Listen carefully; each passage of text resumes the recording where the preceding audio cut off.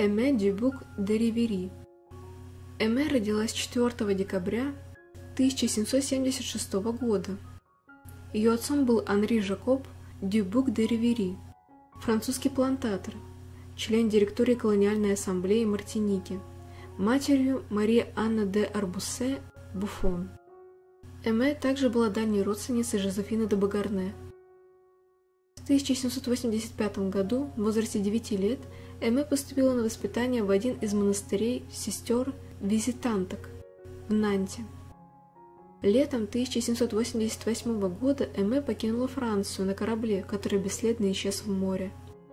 Существует легенда, что Эме была захвачена пиратами, продана в гарем османского султана Абдул-Хамида I и стала матерью султана Махмуда II.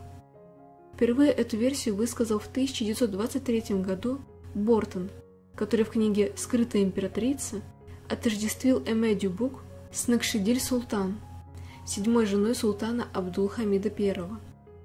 Однако известно, что Накшидиль родилась в 1766 году и была на 10 лет старше Эме.